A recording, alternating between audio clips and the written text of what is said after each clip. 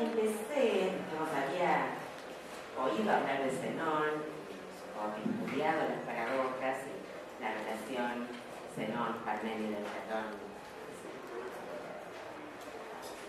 En esta vuelta sucedió que estaba dando un seminario sobre Bersón, sobre el tiempo, y por eso metí Bersón.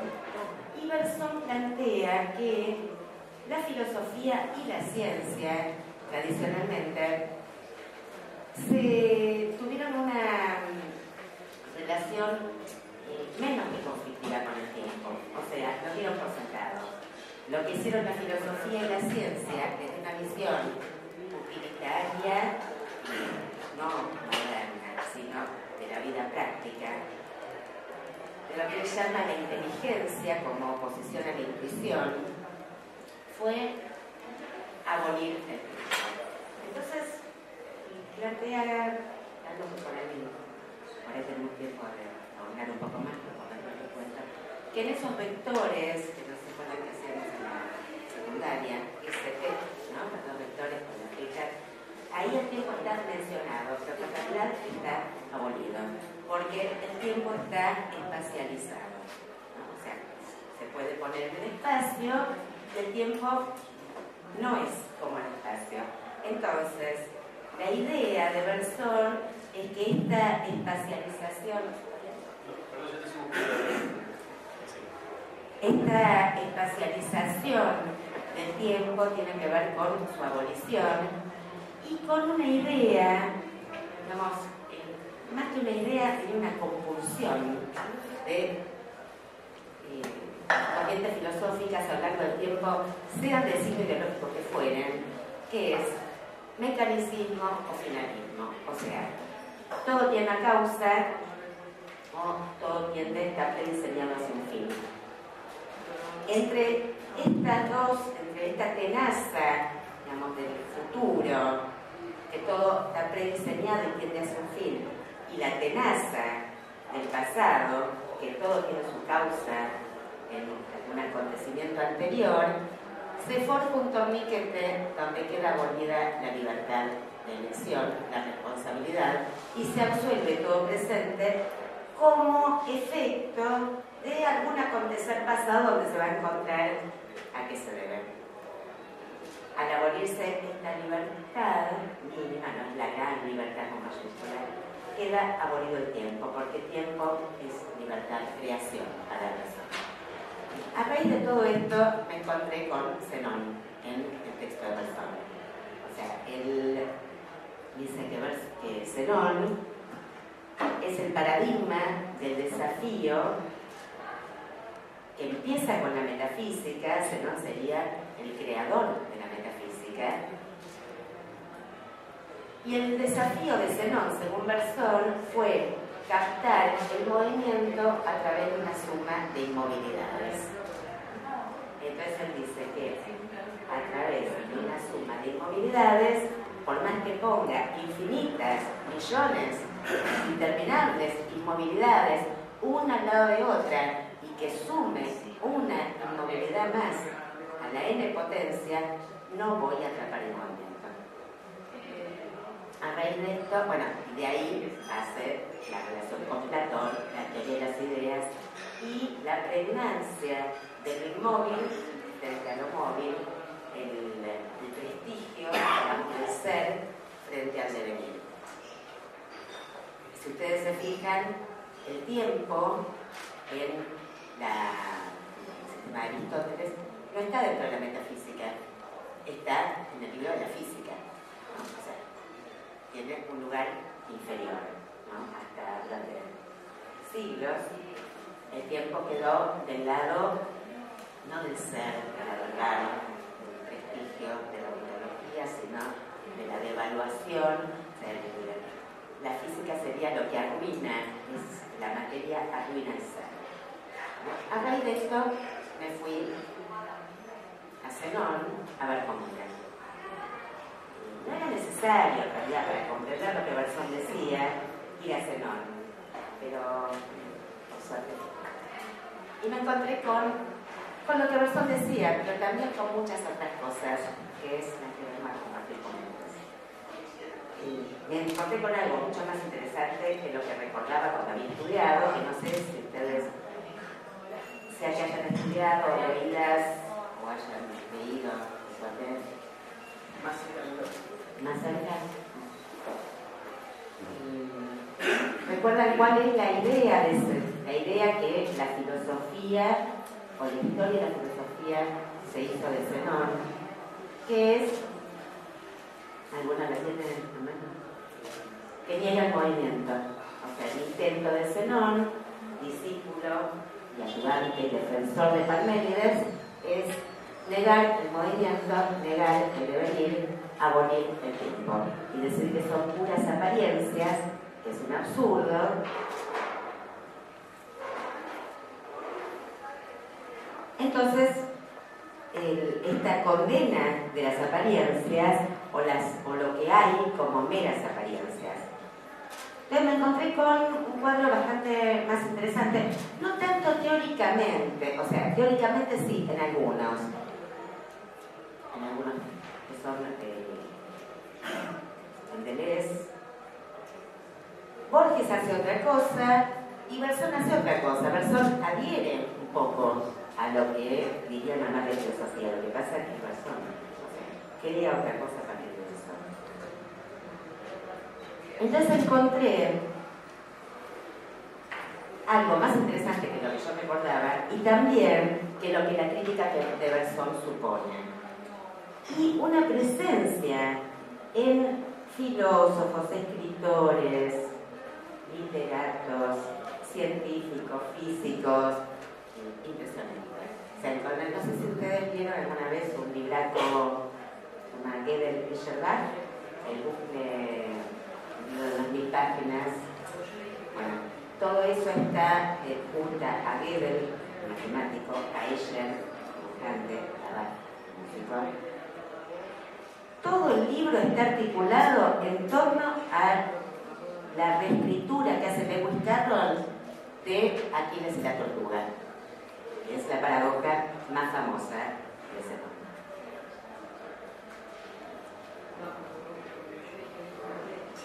Entonces, bueno, fue desafiando a lo largo de las épocas a distintos pensadores y es muy interesante porque uno podría pensar en el me gusta llamarlo ni éxito ni triunfo, diría la loca persistencia de Zenón hasta ahora, 2500 años, porque uno podría decir que eh, la historia de las resoluciones que plantean sus paradojas es la perpetua demostración de la carrera entre Aquiles y la tortuga. Si una demostración es perpetua, obviamente, ¿no? Es que nunca se ha logrado. Entonces, mi, digamos, las ideas previas era, bueno, Zenón niega el movimiento, no sé si alguno recuerda las, las paradojas de Zenón, son cuatro. Bueno, antes de, plantearlas, un avance de, del vaivén al que a mí me llevaron. La idea del establishment filosófico es que las paradojas apuntan a negar el movimiento. Por tanto, niegan el movimiento o piensan el pensamiento. Las paradojas se supone que lo que hacen es condenar las apariencias como meras apariencias. ¿Condenan las apariencias? O muestran que la lógica está atrapada en la identidad, en el ser, el ser como identidad.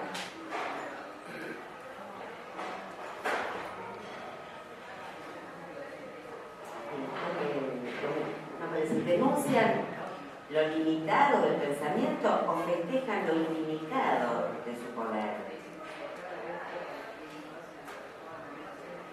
En contra la tesis que plantea que es absurdo negar el movimiento, Zenón responde que es absurdo lo contrario, que es absurdo, lógicamente insostenible, decir que el ente es múltiple, decir que es engendrado, que es perecedero y que es móvil.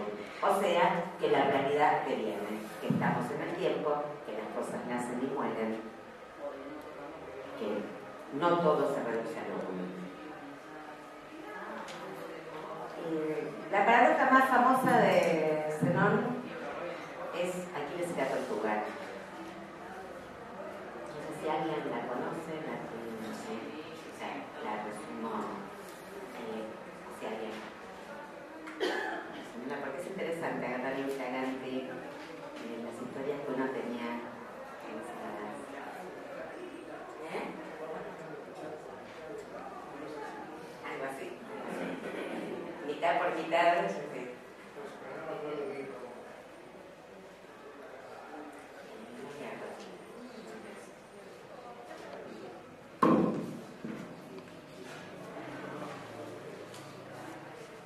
Voy a empezar por la más conocida.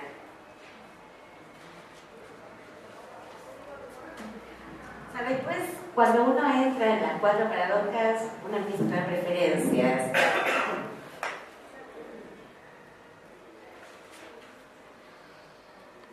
En el caso de Zenón, es de los pocos casos que para mí eh, los textos no tienen importancia, como no se conservan textos originales, sino que están contados por otros, como en este caso la lectura de la letra no tiene un valor, están en Aristóteles, están en varios filósofos, lo que importa aquí es el argumento.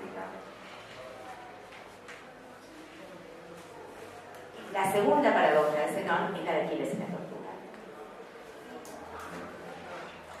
Y vamos a ver después un texto de Borges que se llama Avatares de la Tortuga, donde empieza con esta paradoja y de otra de Entonces, tenemos que Aquiles, que es el más veloz de los guerreros, compite una carrera contra la tortuga, que es el más lento de los animales. Le da ventaja. Supongamos que la velocidad de Aquiles es 10 veces mayor a la de la tortuga, pongamos un metro por segundo contra 0,1 metro por segundo de la tortuga. La carrera es de 1000 metros y la tortuga parte con la ventaja de 100 metros. Cuando Aquiles llegue al punto de partida de la tortuga, la tortuga ya no está ahí. Eh, llamemos a ese punto de partida T0. La tortuga ya está en T1. Aquiles llega rápidamente a T1, pero la tortuga ya no está ahí. La tortuga está en T2 y así sucesivamente hasta el infinito. Cada vez que Aquiles llega al punto donde se encontraba la tortuga, esta avanzó un poco, muy poco, pero avanzó. Aunque la distancia disminuye muy rápidamente, Aquiles jamás alcanza la tortuga. Y me encanta la risa, porque acá hay algo que es, todos sabemos que Aquiles alcanza la tortuga. Entonces, ¿qué está haciendo Zenón? Esta es la pregunta. ¿Qué está haciendo Zenón cuando hace esta cuenta, este artificio de que Aquiles no alcanza la tortuga?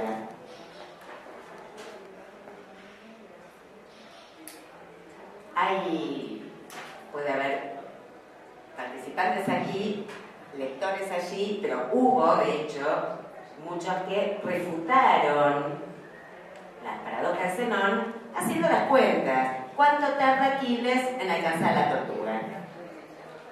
Pero el problema que se plantea no es ese, sino en hallar la falla lógica que invalida el argumento de Zenón. O sea, todos sabemos que Aquiles alcanza la tortuga. Pero, ¿cuál es la falla del planteo de Zenón? ¿Cuál es la falla? Es una de las preguntas.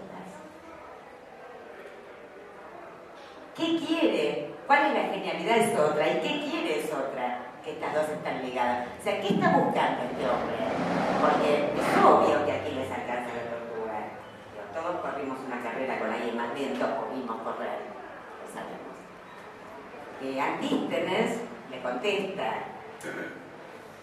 Le contesta en cuánto tiempo y le dice cómo el recurso mueve, no, pero no es lo mismo, porque Zenón es lo contrario de la iglesia. O sea, Zenón no está queriendo trabar el movimiento del espíritu, sino que para mí está queriendo mostrar el revés del guante, está queriendo mostrar el artificio por el cual pensamos cuando pensamos. Entonces, vayamos primero a, que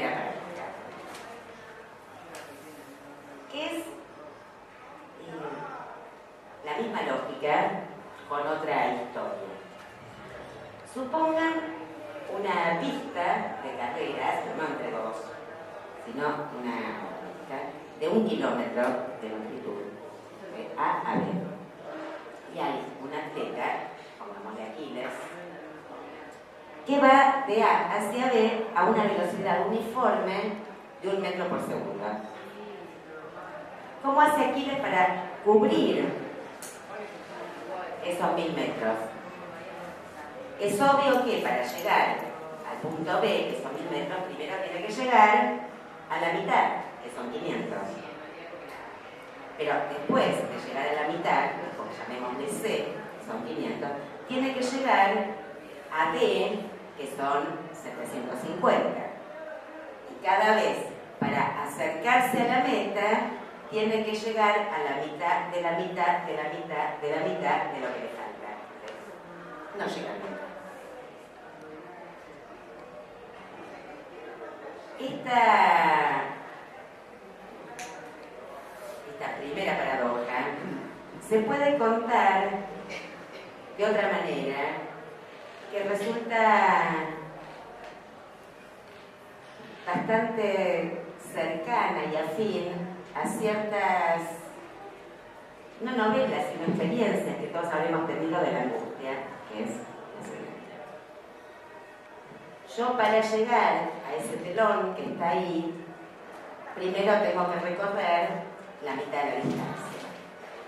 Estoy invirtiendo en vez de llegar a la mitad y después de la mitad hasta la meta por mitades infinitesimales, la otra versión es que yo para llegar al telón rojo aquel, tengo que llegar primero a donde está la mitad de las filas.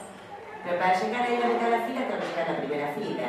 Pero para llegar a la primera fila tengo que llegar a la mitad, donde termina la mesa roja esta. Y para eso tengo que llegar acá. Y para eso tengo que llegar Y para eso acá. O sea, no puedo salir. No puedo salir porque para salir de donde estoy, tengo que llegar a la mitad de donde quiero ir. ¿Quién no sintió esto alguna vez? O sea, en este sentido, esta, las paradojas de Zenón nos llevan a experiencias subjetivas que son tan ridículas o tan negadoras del movimiento del devenir, pero bastante menos que esta, o, sí, o tan metafísicas como el miedo a la oscuridad, la pereza o la angustia. Estas son unas de las derivaciones o campos eh, que se me abrieron de, las, de estas cuentas, ¿no? de estos problemas presuntamente fríos y matemáticos.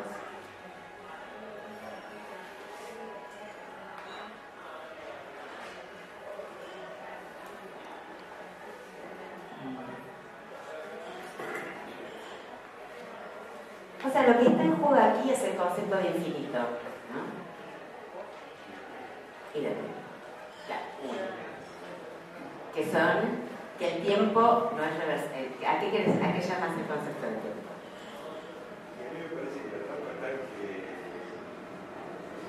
no se, considera, se no considera un único tiempo para Aquiles y para la Se considera un único tiempo.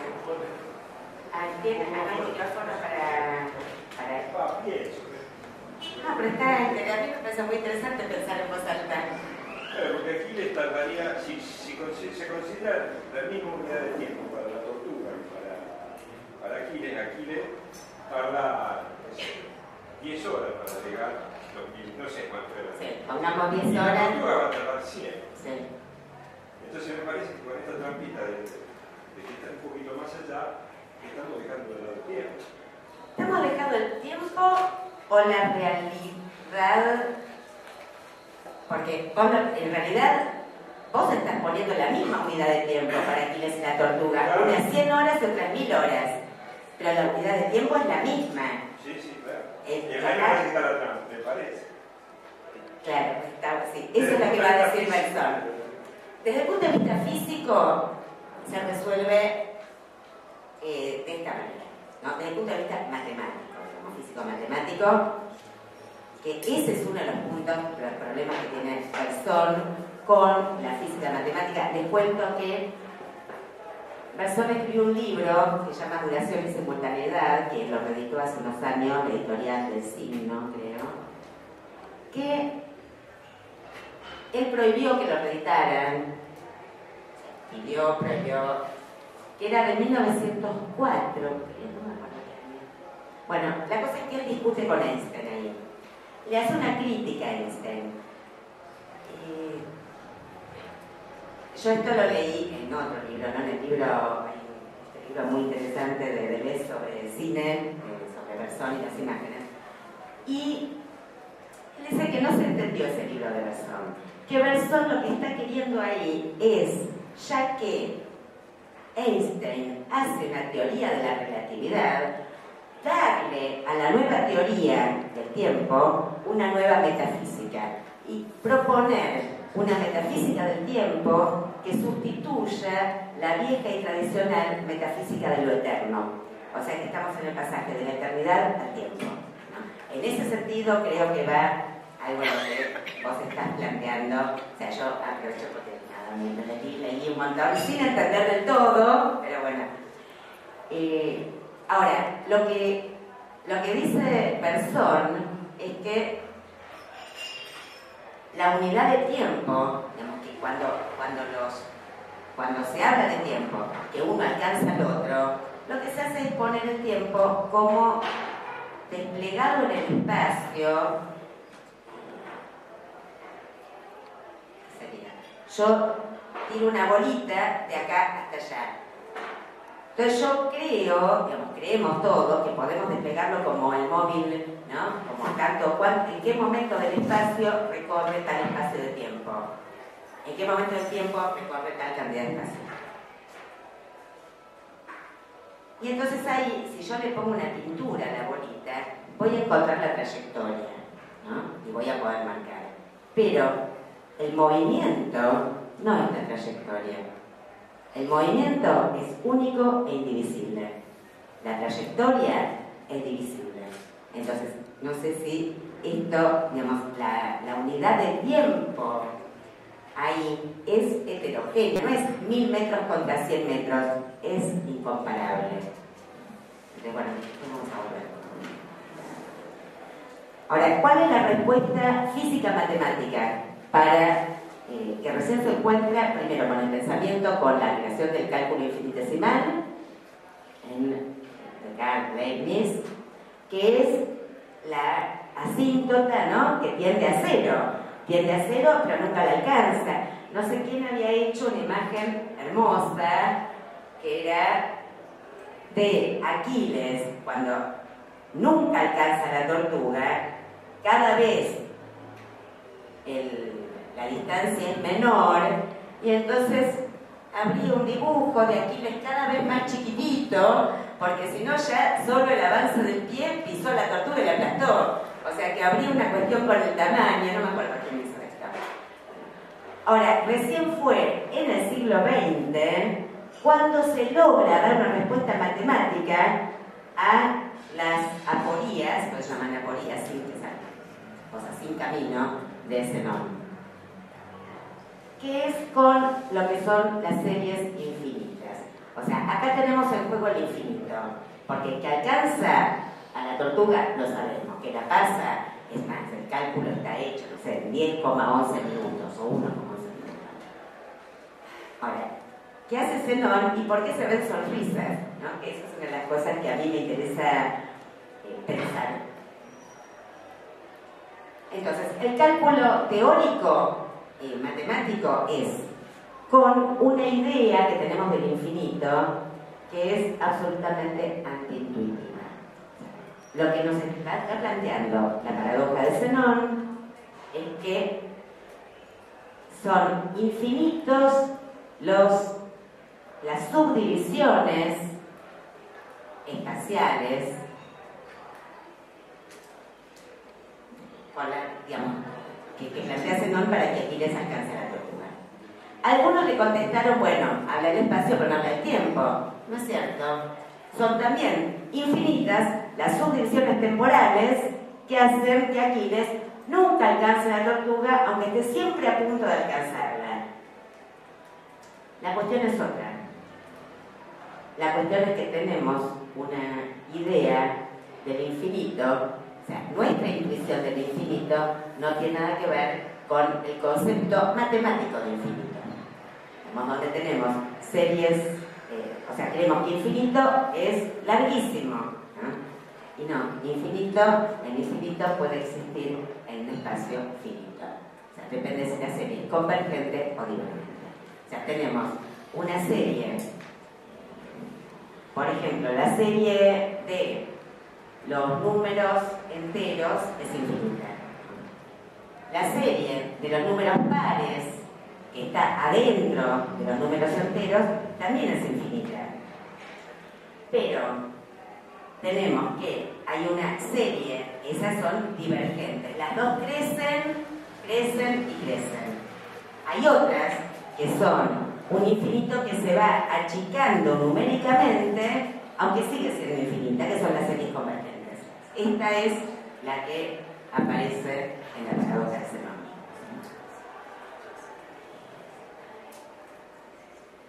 Para esto tardaron, para encontrar esta falacia, casi dos mil años. O sea, a mí me parece un regalo del pensamiento que alguien haya lanzado una flecha hacia el futuro y hayan tardado dos mil años rompiéndose la cabeza. Y esto no quiere decir que sea resuelto, se ha resuelto para algunos, pero cada vez que se resuelve, otros plantean problemas irresueltos y que esa resolución no ha llegado a lo que se nos planteó.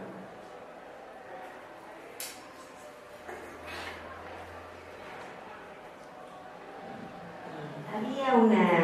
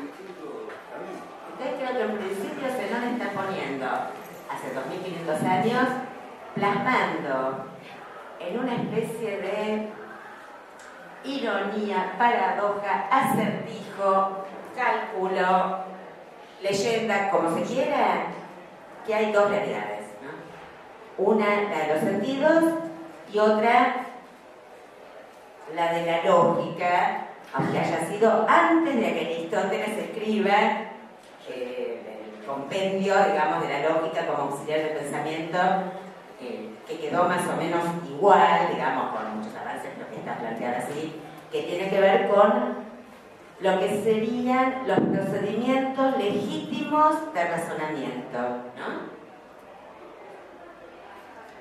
De un lado quedan los procedimientos legítimos de razonamiento y del otro lado quedan los sentidos. Esto es lo que está planteando Zenón, que ya de por sí es interesante. Un hiato, un abismo entre ambas.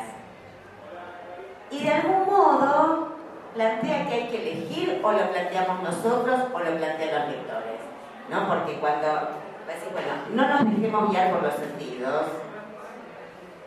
Depende de quién. Yo lo pensé también ese ejemplo que es hermoso, el sol sale.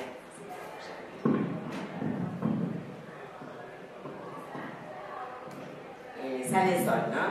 Se escucha bien, ¿no?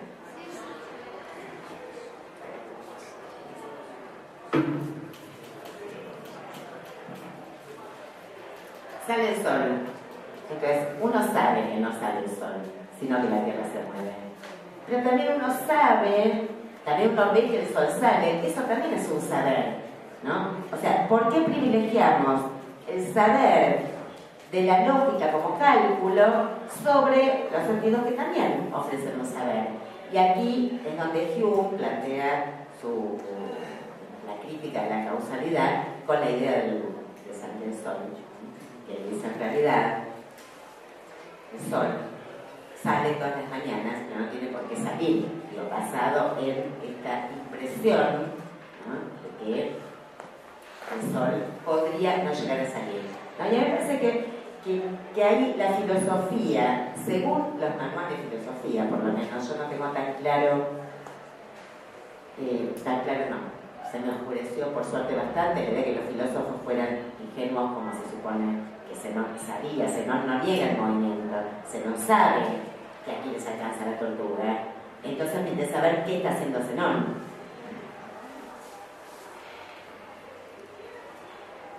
Entonces, una es, no nos guiemos por los sentidos. ¿sí? Esa sería una posición posible. Que pensemos, ¿qué está queriendo este hombre? ¿no? Ahora, la otra no sería, perdóname, eh, digamos, una, una idea finalista, digamos, de decir, si el movimiento es continuo y permanente, no hay límite nunca, digamos. O sea, la postura que niega lo de Zenón estaría a lo mejor preocupada por el tema de los límites. O sea, o sea ¿cuándo ponemos un límite, digamos? Y eso viene a cuenta por un tema que práctico, que que alguna vez leí de que por qué cuando se discutía las fronteras entre los países, este, distintos estudios, con los mismos métodos, con los mismos este, instrumentos teóricos, tenían diferencia a veces del 20 o 30% en la, en la medición de la frontera. Digamos. ¿Por qué? ¿Por qué? Por conveniencia, pareciera. No, bueno, pero no, no, suponemos, que estamos hablando a la base de que, de que ¿por qué había eso? Sobre la base de la buena fe que había, digamos. ¿Por qué existían este, mediciones distintas usando los mismos instrumentos, digamos? Eh, Eso entonces ahí venía una explicación de la teoría fractal que habla justamente, por nombre dice que de la fragmentación, etcétera, bueno, que alguien nos sabrá explicar mejor, digamos, pero viene a cuento de esto, digamos, de que es muy distinto cómo se observa la realidad. Si uno la, la mira desde un satélite, si uno la mira desde la, desde la, desde la superficie, digamos, o si uno es un caminante o si uno es un insecto que transita la misma cantidad de espacio, digamos. Entonces, es posible, digo yo, que a lo mejor el tema, eh, en todo esto esté en, un- en una de las posiciones, todo es instrumental teórico para encontrarle el, límite a las cosas. Con lo otro había un movimiento continuo que no, eh, por, por la cual el espacio, llamémosle, este, nunca estaría delimitado, vamos a suponer, tomando el ejemplo este de las fronteras. Sí, se, ponen muchas cosas en decís. Una, el tema del espacio, bueno, el tema de los fractales. ¿no? Perdón, yo con esto, ¿no estaría en juego también un tema de cómo uno se acerca o se aleja de las cosas, digamos, porque eh, en definitiva lo que está en juego, ¿cuándo, cuándo decimos que estamos cerca de algo, digamos? ¿No? Cuando algo está quieto.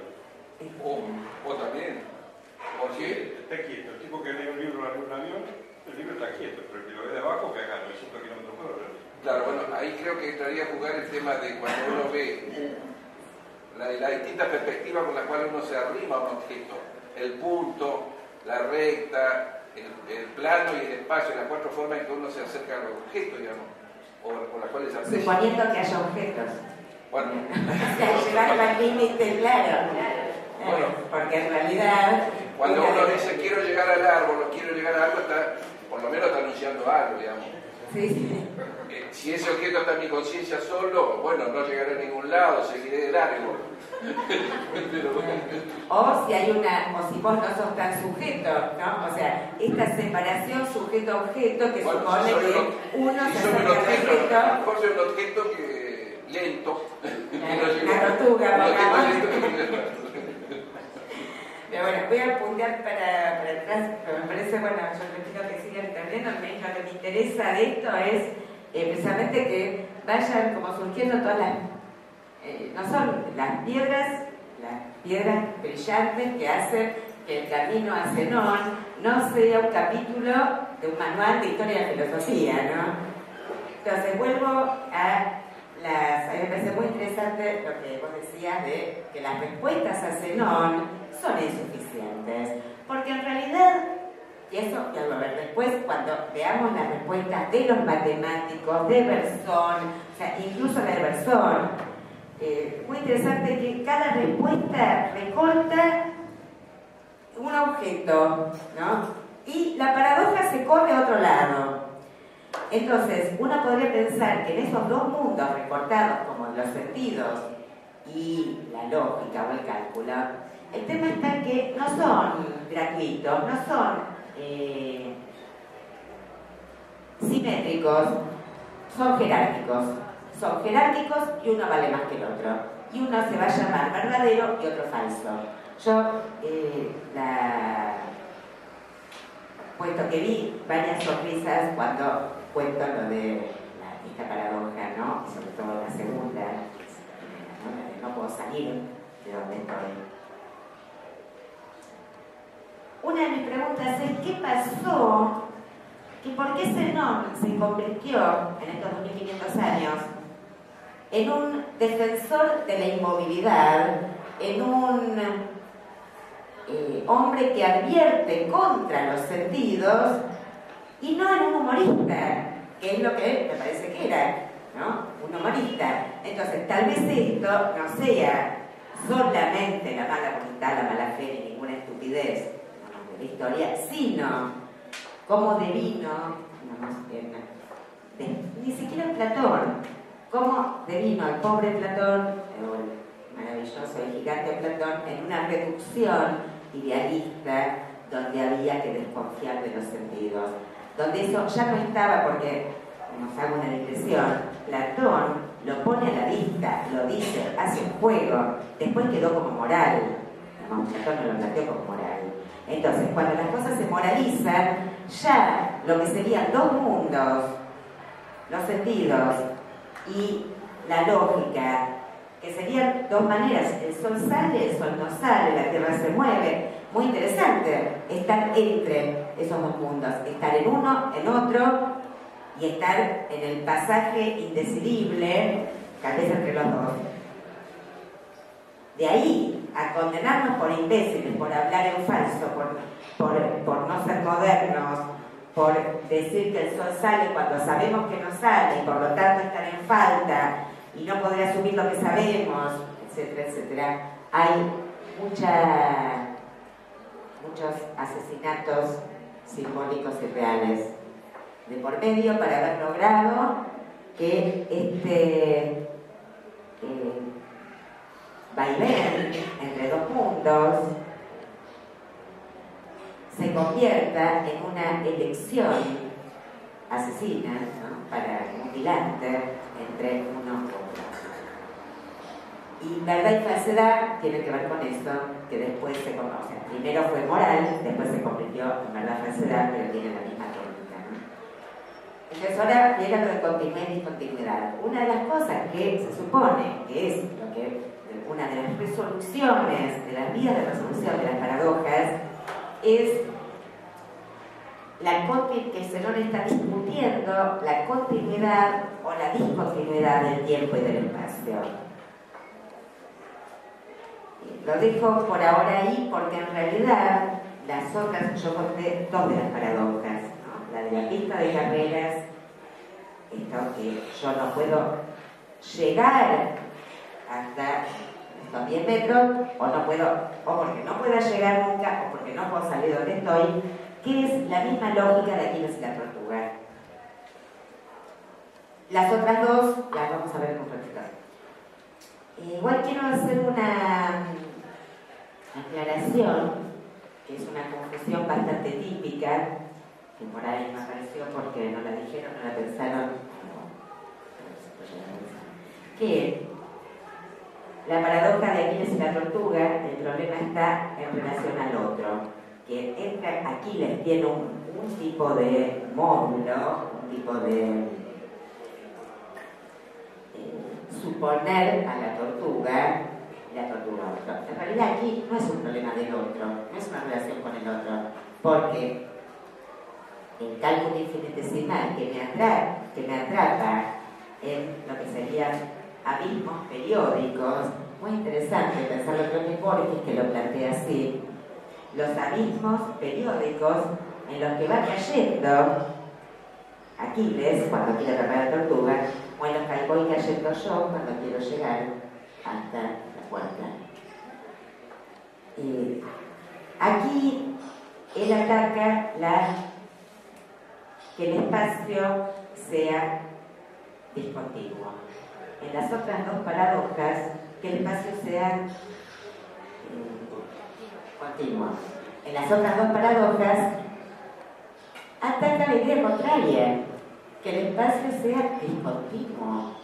Entonces, cuando uno ve las cuatro paradojas, en realidad él no está defendiendo una idea del espacio y del tiempo discontinuo contra la idea pitagórica, pongamos, del espacio. O sea, también hay una discusión con lo que había pasado lo que habían descubierto los pitagóricos, pero él no quiere ganar una posición frente a otra. Parece más bien que se quiere quedar en la punta de un cono invertido. Ahora voy a lo fractal. Bueno, no, primero algo con el concepto de límite. O sea, se resuelve algo matemático de lo que plantea Zenón con el concepto de límite matemático, ¿no? que es, el concepto de límite es muy interesante, que cuando algo falla, cuando una operación no se puede dar, se toma lo que sucede alrededor, ¿no? como, como verdad. Por eso se puede decir que, aunque no llegue nunca, en 1,11 minutos llega. Y lo fractal es algo muy interesante que tampoco resuelve el tema. Por eso las estoy pasando todas. la teoría fractal, ¿qué dice? no es la misma la distancia que hay, pongamos en una playa, digamos, desde el puerto de Buenos Aires hasta Bahía Blanca, por la costa, para un ser humano, para un elefante, para un perro, para un mosquito y para una hormiga. Porque no solo por la velocidad a la que van, que es como resolvía en general la física o la matemática clásica, este tipo de, de problemas, sino porque la hormiga se encuentra con un montón de montañas, ¿no? de irregularidades que implican metros y metros y kilómetros recorridos que nosotros no, el caballo menos, y así. O sea, que eso eh,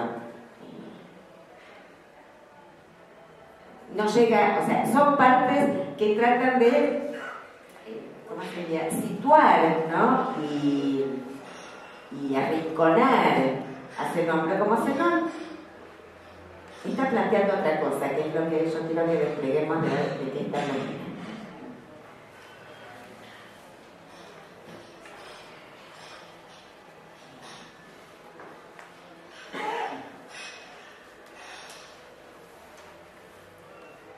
Entonces tendríamos que tenemos el nudo de la lógica contrapuesto al nudo de la vida, ¿no? en el sentido de los sentidos. Tenemos los sentidos contrapuestos a una lógica que se validaría en un procedimientos de razonamiento irrefutables y falsos. Yo lo que diría es, ¿qué nos dice eso de nuestra vida? O sea, ¿qué nos dice eso respecto de cómo defendemos ciertas ideas? esto es algo que me gustaría eh, que, lo dejemos y después lo volvemos a retomar cuánto del triunfo de Zenón, ¿no? de la utilización, digamos, de la usura o la incomprensión de lo que Zenón hace, no tiene que ver con que nosotros tenemos la compulsión y nuestros principios ahí nos guían hacia la verdad más que hacia la voluntad de defender ideas que puedan ser argumentadas. Lo de Zenón son argumentos. Y en general, cuando en el debate de ideas, muy pocos se atreven a defender ideas cuyos argumentos no estén a la altura, por lo cual en general, ¿qué hacemos? Ponemos argumentos que destruyen nuestras ideas pero son lógicos.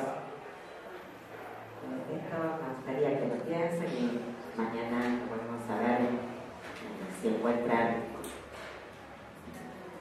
algunas anclas O sea, usamos argumentos que no nos convienen, pero que son irrefutables para defender cosas que queremos, pero que son objetables, lógicamente hablando. Ahí cada hondo el por qué es muy importante la ese no un juego de ingenio.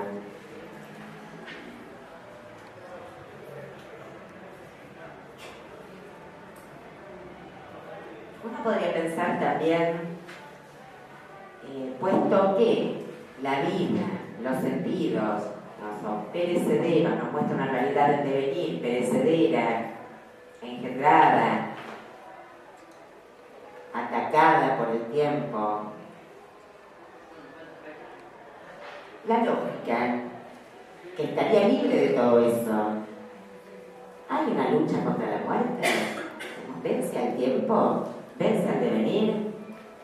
O sea, ¿cuál es? Estoy pensando las, los, los resortes, no de xenón psicológico, sino del efecto xenón, ¿no? El efecto que hace que no se vea esto de xenón como una lógica que muestra la lógica, sino como una impugnación del devenir. No sé si se ve la diferencia. O sea, una cosa es que Zenón impugna el devenir y otra cosa es que Zenón nos está mostrando dos mundos y cómo funcionan con engranajes, con velocidades diferentes, tiempos diferentes.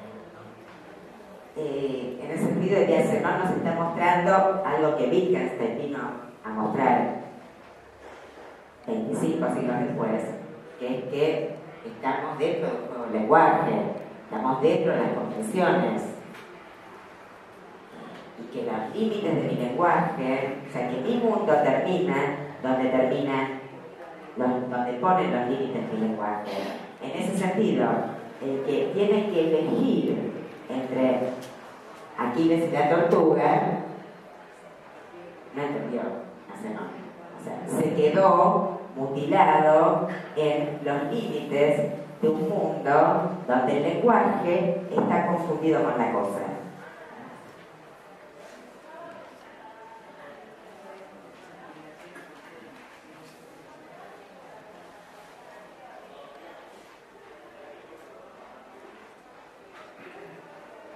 Entonces, es Vox Populi, esto que las paradojas de Zenón pretenden demostrar a través de la lógica que el movimiento y el tiempo son apariencias, son ficticios. El cambio de venir serían adaptaciones de nuestros sentidos. Tan llenos de contradicciones, son una ilusión. No existen realmente. Hay una realidad y una irrealidad, verdadero y falso. Entonces yo pregunto, ¿es lo que pretende demostrarse, no?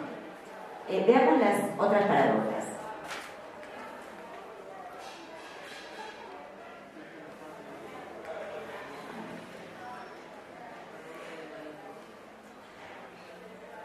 Bueno, lo que muestra el, el camino de contar lo de las series divergentes y convergentes.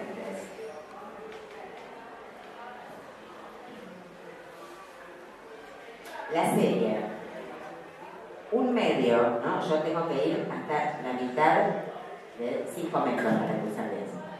Entonces, esa serie que yo hago 5 metros, después hago 7 y medio, después hago 8,75, etc es una serie convergente, que es un medio, más un cuarto, más un octavo, más un dieciséisavo, más un treinta y dosavo.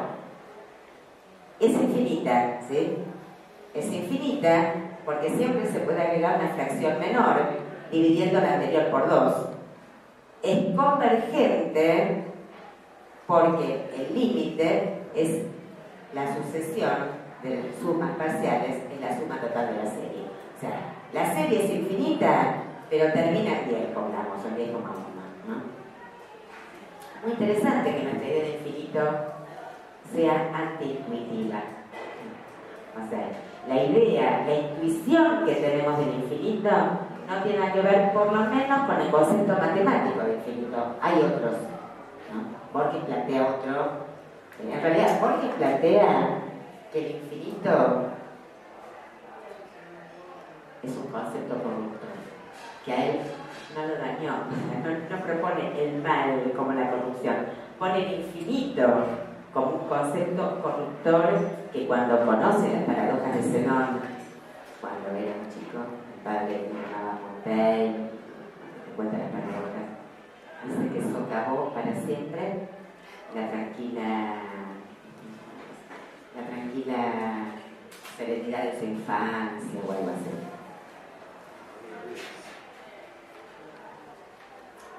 el, de donde estoy tomando las, porque bueno, encontré textos, particularmente, bueno, un libro que se llama Juegos y Paradojas, tal Faleta, eh, donde están las resoluciones físicas, y acá pone el, uno de los grabados de ella, límite cuadrado, no sé si se ve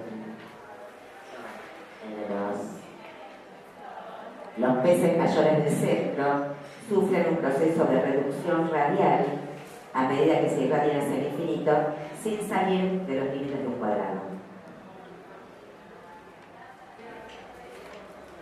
Entonces, las concepciones intuitivas del infinito conducen a error. Vamos a la otra paradoja.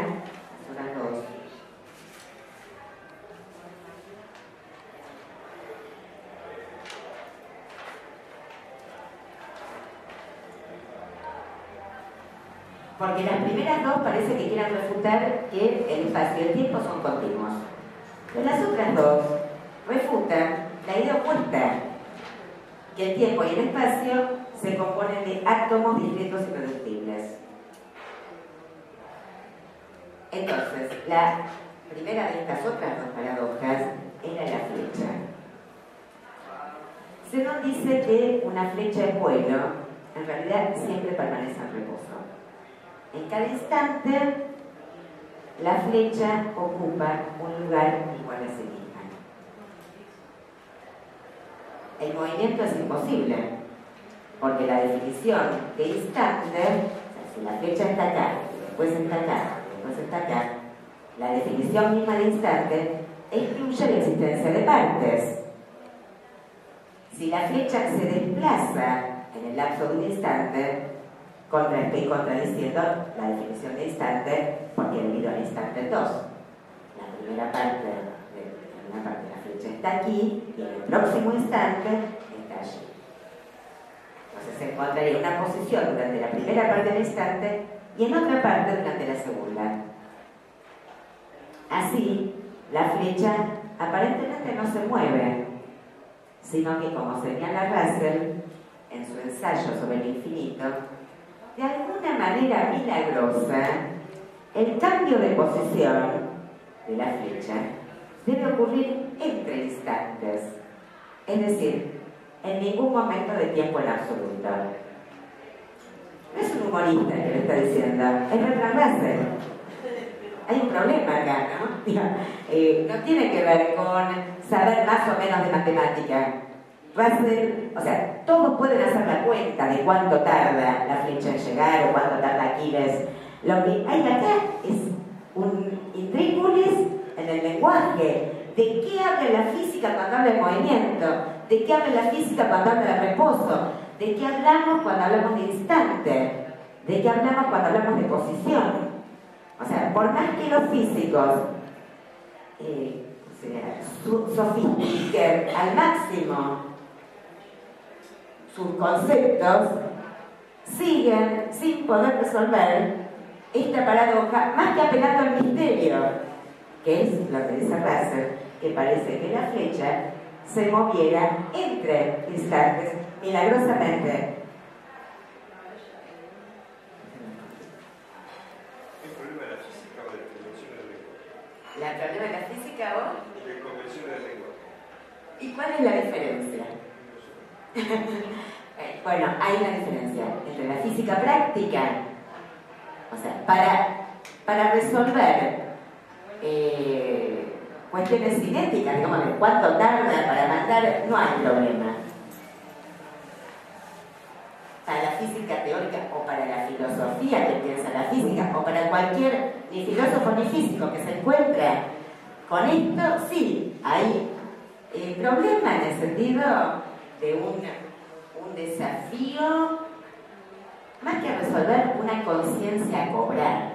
O sea, yo creo que lo que está en juego en Zenón es un extrem, una extrema conciencia de los juegos de lenguaje.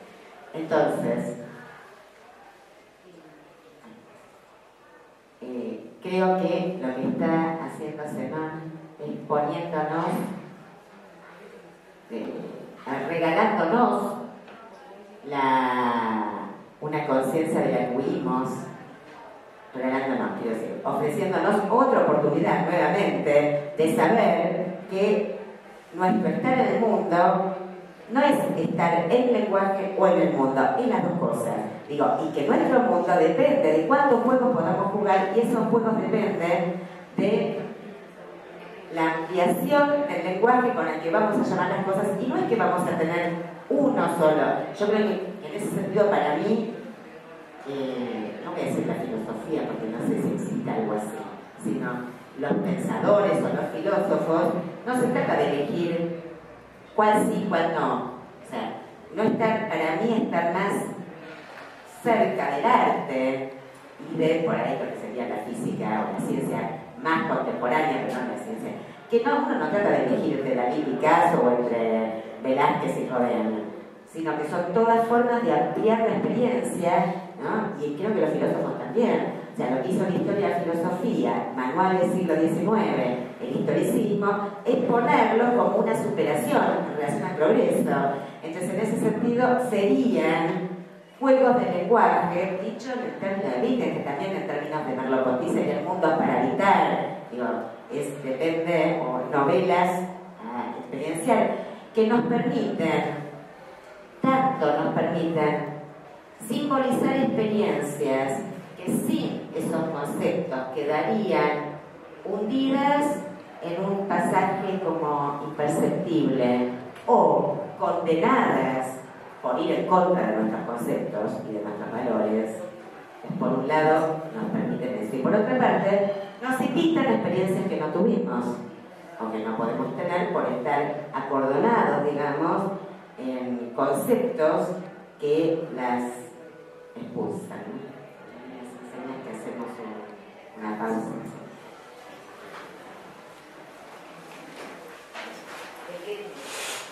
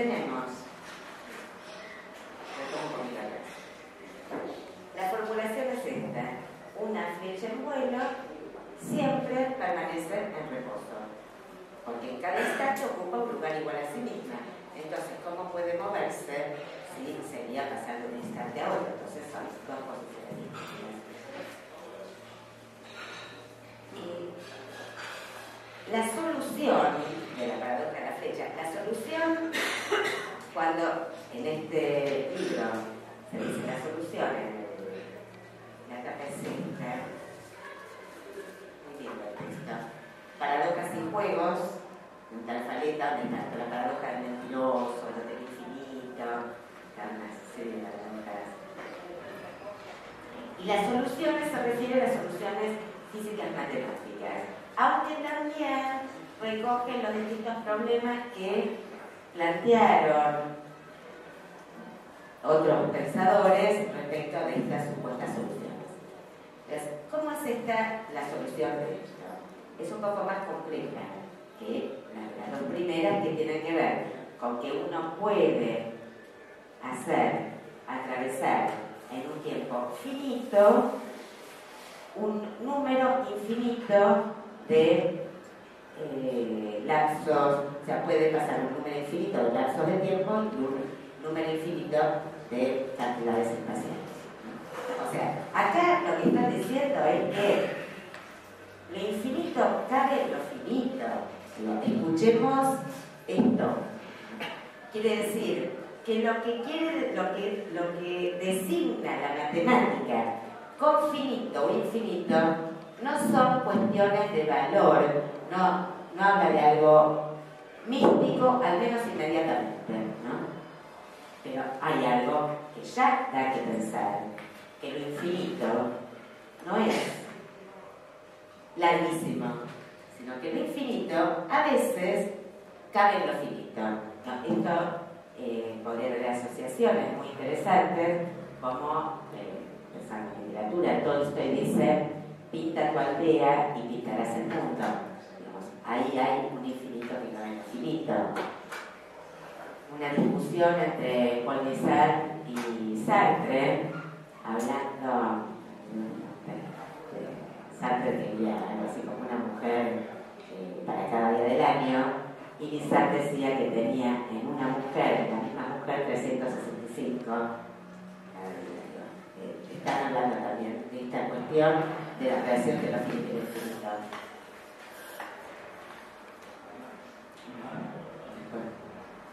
O sea, las cosas que estamos diciendo a las cuales volver,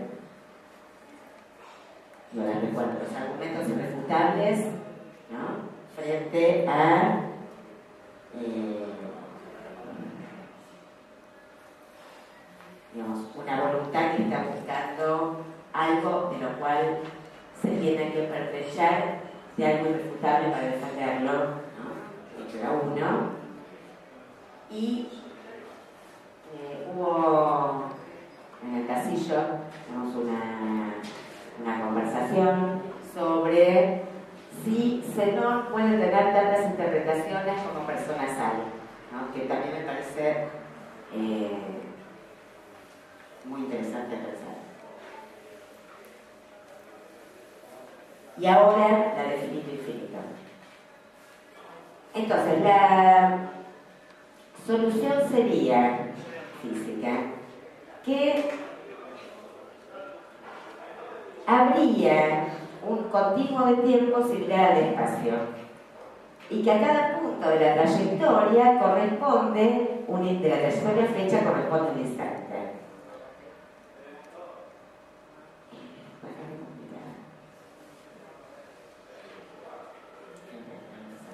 Pero voy a ir al punto nodal de, de los problemas que plantea la solución matemática.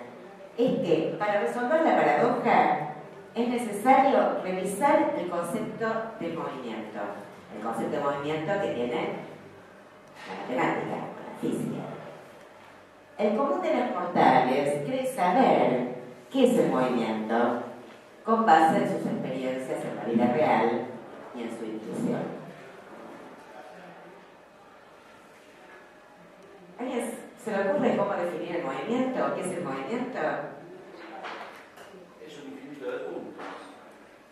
Eso sí. Pero un infinito de puntos podría ser todos en reposo.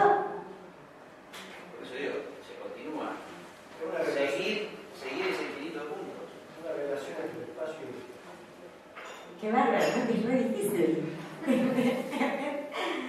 Un infinito de puntos que se continúan. Seguirlo. Pero eso supondría la primera, ¿no? Que el movimiento sería imparable. ¿Por qué necesitamos un infinito de puntos para que haya movimiento? Para la definición de movimiento. Va, por ahí decís infinito para que no te atrape Zenón, que en un centímetro hay infinitos puntos. Claro, interesante. ¿Cómo era la otra? una relación entre espacio y tiempo. Un desplazamiento en el tiempo.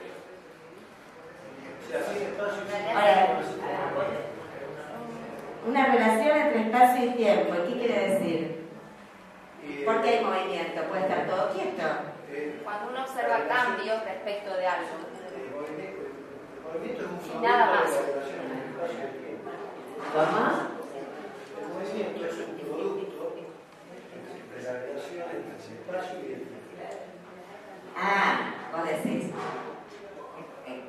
Ah, pero pues, claro. Claro, porque hay una relación entre espacio y tiempo. Yo estoy aquí ahora, me quedo inmóvil 10 minutos y tengo aquí ahora espacio y tiempo y aquí ahora 10 minutos espacio y tiempo y no me moví. No hubo movimiento y hay una relación entre espacio y tiempo que se mantiene idéntica a sí misma. inmovilidad es parte del movimiento. Ah, Eso ya, ya entramos en la filosofía, que la inmovilidad es parte del movimiento. Movimiento cero en física es un movimiento cero.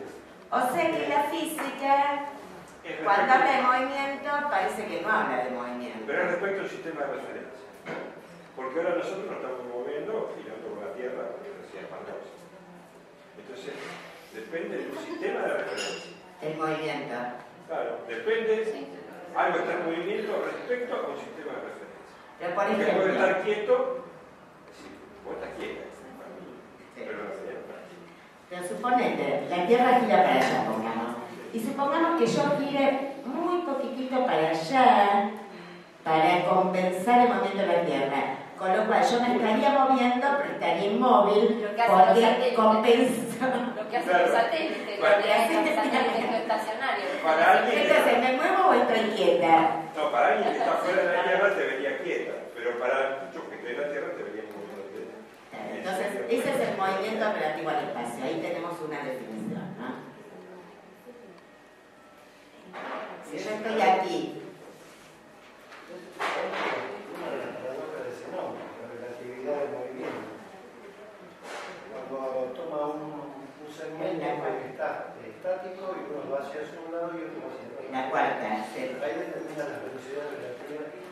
es el menos. Otros dicen que es O en sea, la velocidad Es una manera de verla, sí. sí. Pero que es parecida a esta, a la de la flecha. Ahora, la idea es que el movimiento, que la perfecta, porque lo que están diciendo es la idea que tiene la física del movimiento, que es que el movimiento es una variable, o sea, que el tiempo es una variable del espacio, y que el movimiento es cuánto tarda un móvil en llegar, en cubrir una distancia dada. ¿no? Eso es lo que aprendimos en la primaria o en la secundaria de qué es el movimiento. ¿no? La velocidad con que avanza una o sea, que es una variable del espacio. Eh, Este es precisamente el punto donde yo me acerqué a Zenón, porque Bersón decía con muy buen tino, pareció que el movimiento, que, que el tiempo no es una variable del espacio. Y hay una cosa muy clara, que la física eh, se, se, se apercibió, y fue una revolución en la física, en el siglo XIX, que es el concepto de entropía. O sea, en las cosas que ustedes están diciendo, el movimiento, ¿no? el tiempo como relativo al espacio, el movimiento como cuánto tiempo tarda un móvil en atravesar la distancia, tenemos que el tiempo que yo tardo en ir de Buenos Aires a Mar del Plata es el mismo que tardo en ir de Mar del Plata a Buenos Aires. O sea, es un tiempo reversible. El tiempo en la física hasta el siglo XIX es reversible. Puede ir para adelante y para atrás. Con el concepto de entropía, esto se suspende y lo que hace es que la energía disipada no vuelve. ¿no? En este sentido es más parecido a nuestra vida. El gasto de energía no se recupera en energía posible, o sea, no se puede volver a recuperar. Eh, me acuerdo cuando había una propaganda de Alfonsín, Alfonsín mismo, eh, contra la droga, que era, decía, la droga es un viaje de ida, no te subas. Y uno, unas que decían, la vida también. Entonces, esto es una muestra de lo de la o sea, es un viaje de ida. Edison, a principios del 20, dijo, ¿cómo es que diferenciamos pasado de futuro? ¿No? Una pregunta que para nuestra vida cotidiana no es una pregunta, y para la física es una pregunta. Por esto el dice, bueno,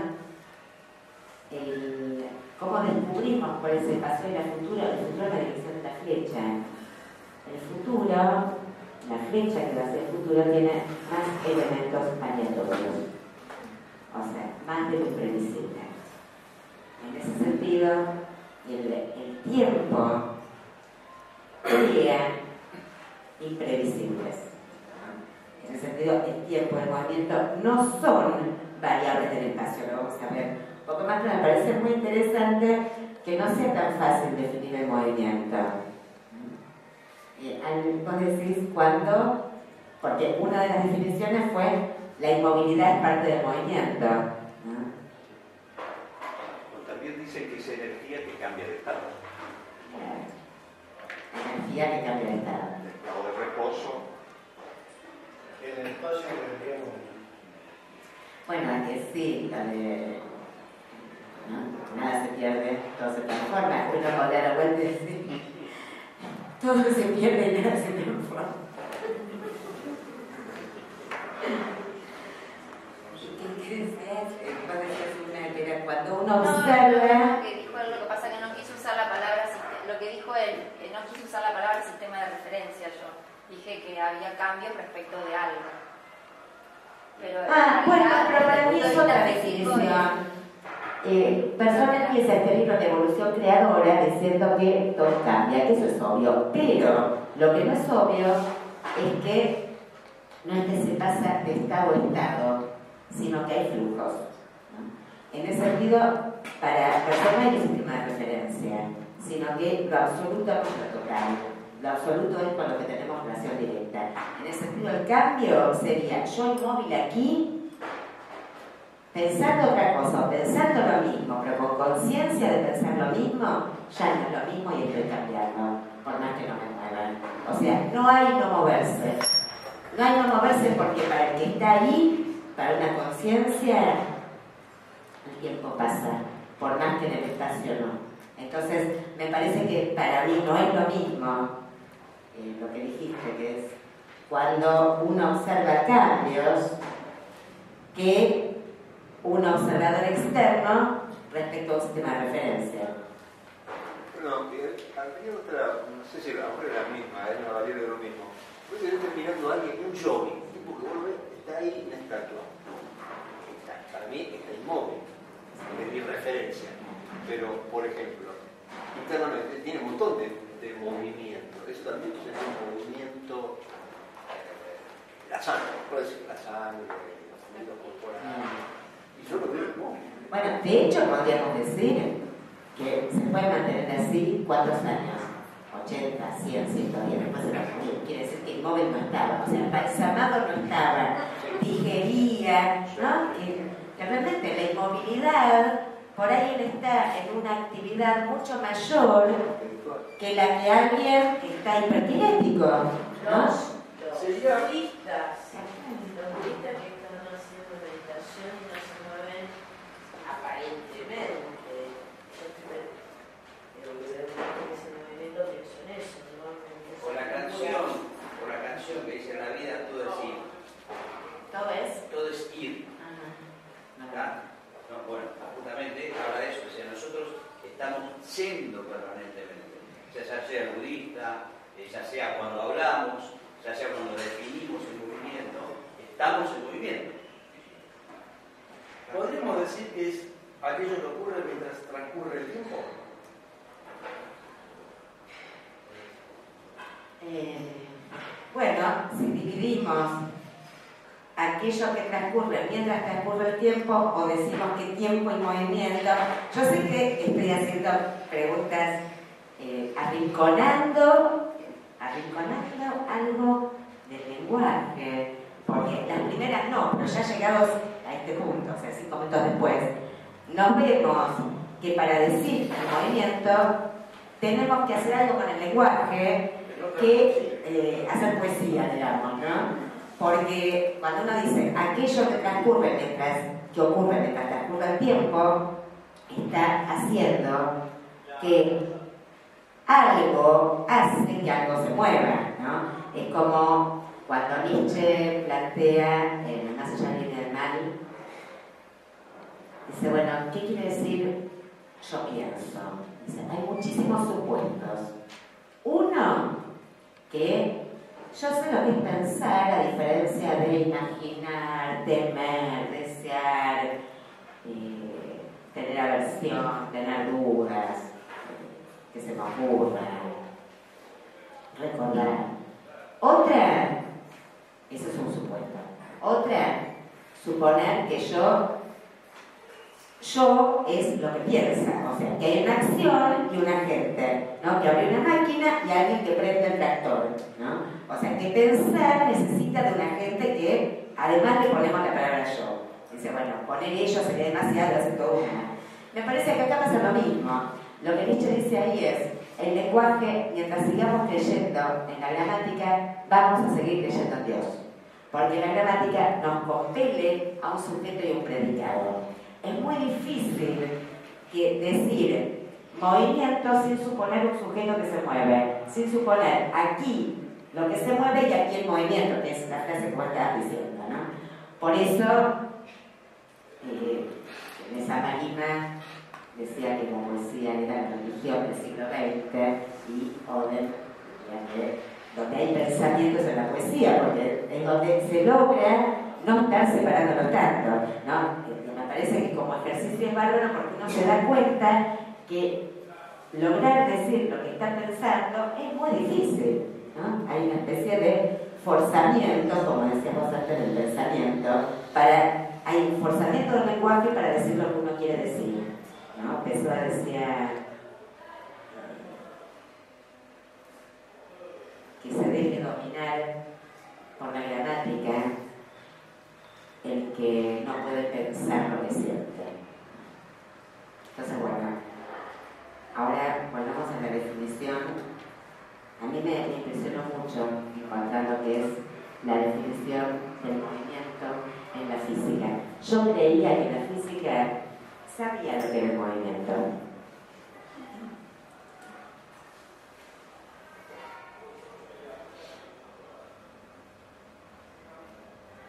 Bueno, idea es que un objeto está en reposo si se encuentra en un instante en una posición y en el siguiente se encuentra en la misma posición. La experiencia y la intuición conducen a la idea de que el movimiento es una fuerza o un poder que posee el objeto al recorrer su trayectoria. Estas es las ideas que tenemos, ¿no? El concepto matemático moderno del movimiento refuta estas concepciones de la experiencia y de la intuición. La matemática moderna considera que el movimiento no es sino una serie de puntos de reposo. Les leo un párrafo de Bertrand Russell. Debemos rechazar por completo el, estar, el concepto de estado de movimiento. El movimiento significa simplemente ocupar distintas posiciones en distintos momentos. No existe transición de un lugar a otro, ni movimiento consecutivo ni velocidad, salvo en el sentido de un número real que es el límite del conjunto de cocientes. Dificilísimo, ¿no? Tengo otras definiciones de movimiento, una más difícil que la otra. Para agregar un poquito de confusión. Eh, a partir, digamos, de los, de los últimos eh, desarrollos matemáticos. Eh, que, fueron necesarios para incorporarlo dentro de la explicación de la, de, micromundo, de la microfísica, donde los cuerpos, en, el espacio micro, micro, micro, en la física cuántica, digamos, no responden en absoluto a la física clásica. La idea no existe espacio ni tiempo, un objeto puede estar en el mismo lugar, en dos lugares distintos al mismo tiempo, eh, y en algunos casos son demostrables matemáticamente. Entonces, eh, ah, yo agrego, agrego algo, ¿no? que siempre cuando uno trata de hacer, hacer una definición, hay un, un paradigma previo que nos ayuda a definir. Eh, alguna construcción previa No que nos ayuda, de- que formatea directamente la la- construcción previa, pero esas construcciones se derrumban permanentemente, porque este, No tan permanentemente. Bueno, en el caso de la física cuántica, hay una, o sea, pensemos en la revolución copernicana.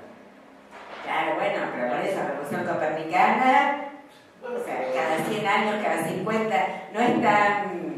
Digo, hay que laburar bastante para, para derribarlas. No, o sea, yo lo que. Digo, no es una cuestión de opinión, ¿no? Eso. No sé qué estás diciendo. es una es- o sea, yo no, no- o sea, veo que hay una, digamos, un tironeo, hay, hay un tironeo entre lo que puede ser, digamos, lo duro la, ciencia y de la interpretación, digamos, más eh, eh, conceptual del individuo con respecto al mismo objeto.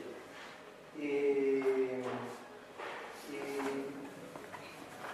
hay ¿Del individuo quién? ¿eh? ¿Del individuo quién? ¿Hawking, Einstein, vos o yo? Eh, Porque no, esa concepción dura no es igual. No, no, no. Hay, Yo no tengo ninguna. hay distintas interpretaciones, puede ser que haya distintas interpretaciones. El hecho mismo de, de, digamos, de lo que plantea Zenón está planteando que a través de, de una lógica no todo lo que realmente digamos, se prevé que, es, que sucede, no sucede. ¿no? O sea, No todo lo que, lo que, La que- claro. lo que- La lógica lo previsto, la lógica, o sea, La lógica. la lógica es eso, Bueno. o sea, ¿no? Eh, Ahí hay un eje interesante que acabas de hacer, que es, no todo lo que la lógica prevé que sucede es lo que sucede, ¿no? La lógica prevé que aquí les va a alcanzar la tortuga y aquí le alcanza. Me parece que la maravilla de Zenón no es que la lógica preveía que no la alcanzaba y después la alcanzó, fue al revés. Todos sabemos que la alcanza. ¿Qué hizo Zenón? Chiflado, total, logró construir un artificio por el cual la tortuga no sea alcanzada. O sea, no es que la lógica preveía algo que la experiencia demostró falso, sino que la experiencia siempre mostró una cosa y este, no es que la lógica, este griego del siglo V inventó un artificio infernal para hacer fallar la experiencia en el plano de la lógica. A mí me parece muy importante la fecha temporal, y estamos hablando de eso, que es, no es que él, la lógica preveía algo que no sucedió. Él inventó un artificio por el cual logró hacer fallar la realidad en la lógica. Y mi pregunta es, ¿qué es lo que falla? ¿Qué muestra Zenón? ¿Qué falla? ¿La realidad o la La lógica? construcción de la lógica. La lógica. La lógica que construyó Zenón. Bueno, pero lo que construyó Zenón es la lógica. No la construyó él. Era una construcción de los griegos y es una construcción del intelecto, digamos. Claro. Entonces, para mí, la maravilla del Zenón, la fiesta, es que él muestra que lo que falla es el pensamiento. Y esto es lo que nos alegra. O sea, yo creo que la sonrisa de que aquí no alcanzan la tortuga sabiendo que la alcanzan, no es que la lógica previó una cosa y sucedió otra, no es como ese tema, eh, como es el registro meteorológico que dice, bueno, hoy va a ser frío, calor, no sabes nada. No, es siempre aquí les alcanzó la tortuga. ¿Cómo hizo este tipo para inventar un artificio irrebatible para mostrarnos que no? Entonces lo que hizo fue mostrarnos el reverso de la lógica, fue mostrarnos la ironía del pensamiento sobre sí misma. No es una crítica al pensamiento, es mostrar la cocina donde el pensamiento se muestra a sí mismo. Y uno podría pensar, muestra sus límites, sí, pero también muestra su falta de límites, lo ilimitado de su poder y que haya dos realidades que sí, que están las dos juntas, sabiendo que son dos, es como una superposición, ¿no? De- o sea, nosotros, pone a usar muchas imágenes, muchas culturas, somos híbridos. Uno le pone animales y dioses, digamos, tenemos, somos eh, empíricos y teóricos, pero uno puede irse a distintas culturas y encontrar distintas eh, figuras para esta, eh, para esta duplicidad que somos. Pero bueno, acá hay una de esas, la de es una de esas, que la cuestión está en pertenecer a ambas. O sea, pertenecemos a ambas. No está en cuanto como le sacamos.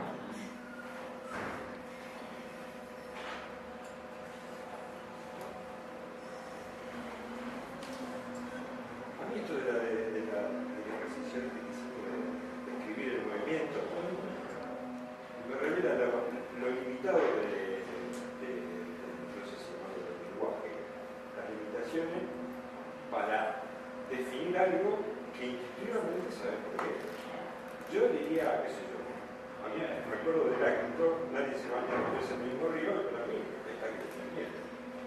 Sin embargo, para, para dar una definición, tenemos que recurrir a, a, a- a conceptos y a, a armar un montón de cosas para algo que intuitivamente todos sabemos. Entonces, para mí habla de una limitación de la lógica en Zenón y del lenguaje para hacer una definición por demás de simple. Un hecho que no le puede tener. Eh, de la lógica, está claro. Del lenguaje. ¿De qué lenguaje? Del lenguaje para que define. buscar las palabras claras para definir movimiento. Claro, por ahí hay que buscar palabras oscuras, por ahí lo definen más. Idiota. ¿Eh? Claro, Ahí. preguntarle al misterio. Preguntarle al idiota. Tal cual, claro, bueno, sí. El, yo creo que el, cuando Malar, eh, Malarré le dice, pero usted escribe oscuro, voluntad de que lo oscuro dice, no, claro, porque yo quiero aclarar lo oscuro. Entonces ahí el idiota es el poeta. O sea, es una manera de leer el nombre de esto, el idiota y la lógica, no es el poeta la lógica, porque ella, bueno, sí, para eh, San Agustín, que para mí es el fundador de la lírica hispana, es impresionante. Dice, cuando no me preguntan sobre el tiempo, ¿qué es el tiempo? Cuando no me preguntan lo sé, cuando me lo preguntan no lo sé más. Que es lo que vos estás diciendo del movimiento. ¿Cuál es la diferencia entre tiempo y movimiento? Ninguna. Ambas fueron sepultadas por la metafísica occidental durante 25 siglos y yo creo que la raigambre teórica que logran tener desde del siglo en adelante tampoco les hace mucho honor porque las ciencias sociales y SIC, ¿no? Ciencias sociales, ah, tienen la aspiración de convertirse en ciencia. Entonces, yo diría que en ese punto, las ciencias duras, entre comillas también, tienen un viaje espiritual, místico, poético, actualmente, mucho más salvado que el de las ciencias sociales. Y fijémonos precisamente en el lenguaje, en cómo definen y cómo nombran sus objetos. Después de átomo, neutrón, electrón, no sé, ¿qué? ¿no? El quark. Quark, Q, U, A, R, K. Eh, es más chiquito. No. ¿De dónde sacan la palabra? ¿Saben? De Finnegan's Wake de Joyce. El libro más ilegible del siglo XX. De ahí es donde los físicos sacan el término cuerpo.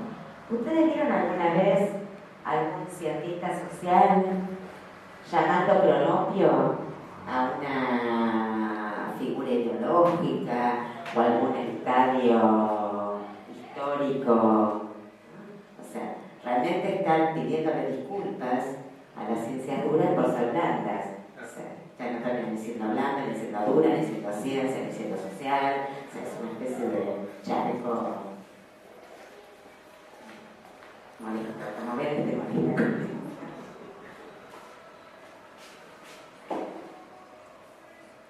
Entonces me parece que el tema de la, ¿qué es no? No se puede definir, pero sí se puede hacer funcionar.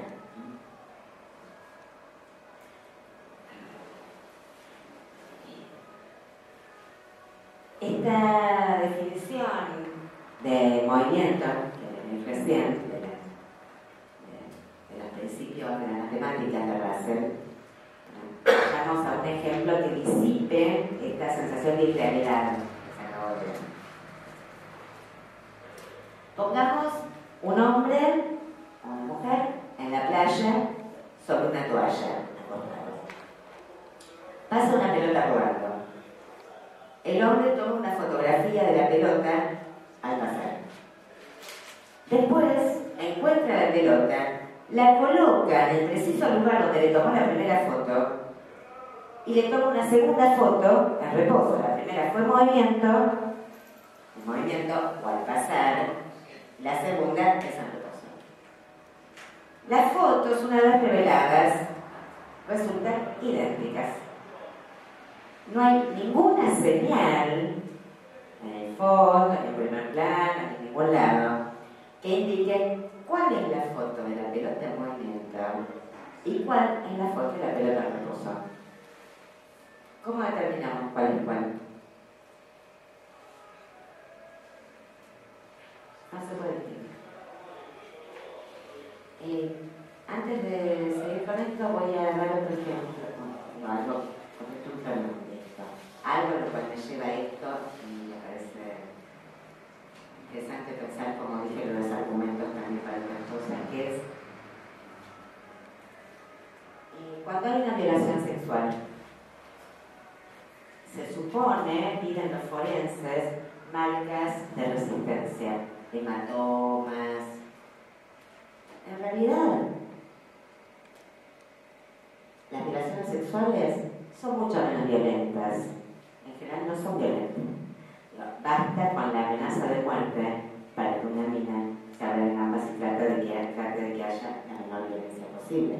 Si uno tomara una foto de una relación sexual apasionada, puede ser apasionada con o sin violencia, pero pongamos una que sea violenta, porque violencia no es una mala palabra, como parece que, que están usando. Entonces, no es la violencia lo que determina la criminalidad de una relación sexual. En la foto no se vería tampoco cuál es una relación sexual consentida y cuál es una criminal.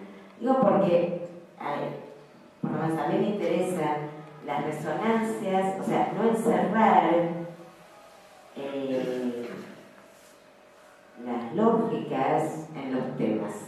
O sea, yo creo que lo grosso es pensar en estructuras de pensamiento, ¿no? Estructuras de movimiento. Y estructuras que hablando de movimientos, no de andamios. Y entonces que nos permitan pensar situaciones y pensar cómo en ideologías distintas funcionan, módulos o tenazas que nos llevan a lo que suponemos que no queremos. Digo, por eso me, me parece interesante la apertura a estructuras análogas el tema no tenga nada que ver. Había un tipo latinoamericano, Valerio Xavier, que decía, el tema es un espejo donde nada se refleja. Y yo creo eso. creo que por eso hay una diferencia enorme entre lo que es una definición, como decía, ¿no? Cómo definir el movimiento, y lo que es el lenguaje. Yo creo que una definición captura el lenguaje es un código. Mientras que el lenguaje es donde fluye la lengua. Entonces, eh, creo que esa es la, el, el vaivén, el bigote donde vivimos, como si estamos vivos. Perdóname, ¿puedes definir el movimiento ese matemático? ¿Definirlo de nuevo? Eh, ¿Lo de Hassel? sí.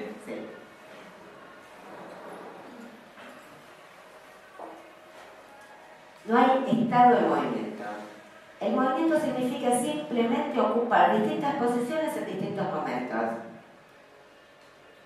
No existe transición de un lugar a otro, ni movimiento consecutivo, ni velocidad, salvo en el sentido de un número real que es el límite de un conjunto de cocientes. Tengo acá definición de movimiento.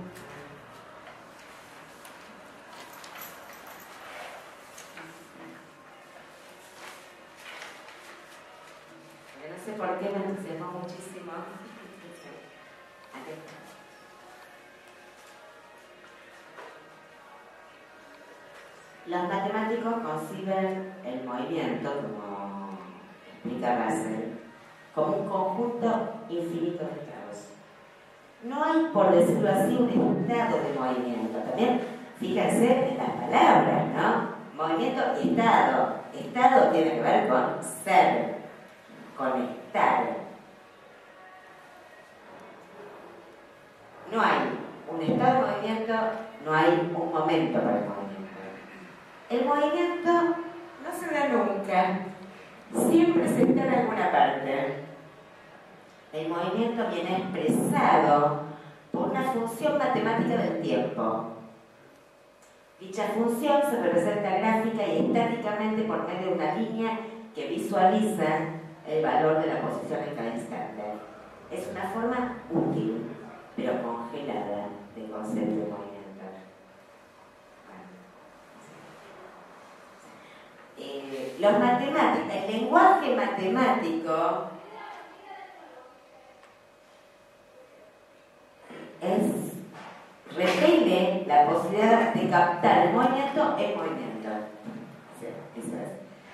O sea, esto es, eh, dice, el no se puede atrapar el movimiento por una suma de inmovilidades. ¿Qué hace la inteligencia? La inteligencia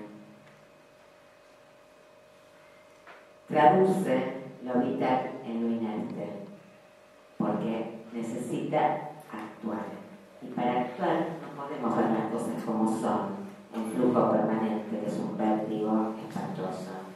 Tenemos que fijarlas y ver qué es lo que queremos. Entonces, por eso, la inteligencia que tiene que ver con adaptación y sobrevivencia fija el flujo en estados, las cosas, el, el movimiento, el devenir, cosas. Bueno, y entonces, claro, traduce lo móvil por una suma de inmovilidades.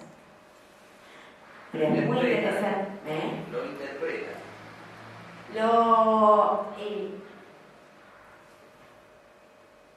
lo convierte en estaciones útiles para operar. Porque Bersón también interpreta. Yo digo la interpretación y después el lenguaje de lo que puede tener el cura por un lado para definirlo, el filósofo por otro lado, el matemático, el, el físico, y por ahí lo definen de distintas maneras. Y yo lo interpreto a ese movimiento y lo adapto, ¿cierto? A, a lo que estoy viendo o lo que estoy queriendo hacer. ¿Me explico? Todo es interpretar. De distintas maneras. Claro. O sea que es un movimiento que no es movimiento. Porque si se interpretado deja de ser movimiento. Eso es el movimiento. Que cada uno lo interprete a su manera. Sí.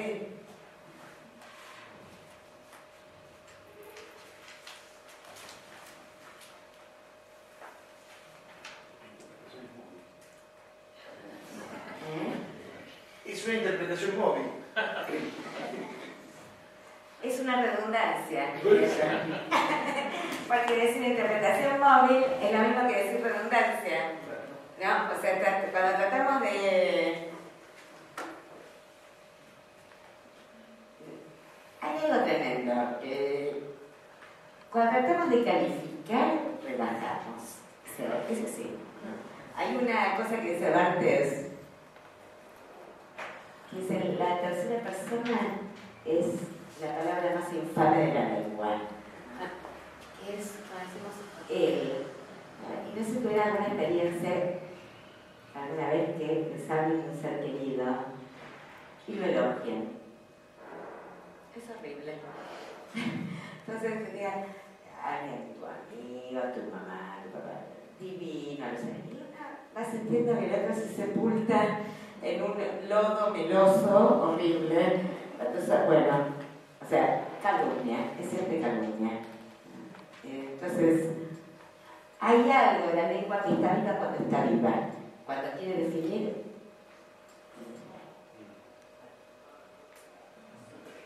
Nos traicionamos, quiero decir, para mí es tremendo porque escribo poesía y escribo ensayo, y son dos fuerzas contrarias. Una violencia muy fuerte. Entonces, tenemos que esto de la pelota en la playa no se puede distinguir. ¿Cuál es en la foto la pelota en movimiento y cuál es la pelota fija? O sea, que el argumento de Zenón en la paradoja de la flecha es correcto. O sea, no es una falacia. En un sentido es correcto. No existe un estado de movimiento. En cada instante la flecha o la pelota en movimiento está donde está, en una posición igual a sí misma.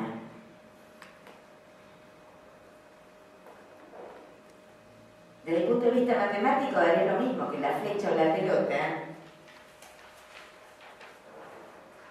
se encontraran en reposo en la misma posición. Pero el movimiento requiere una duración de tiempo.